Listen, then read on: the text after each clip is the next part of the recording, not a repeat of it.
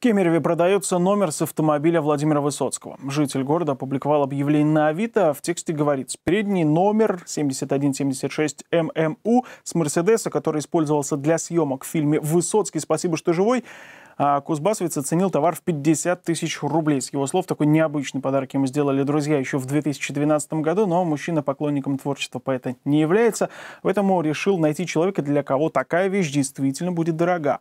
Интерес к объявлению есть, но реального покупателя пока не нашлось.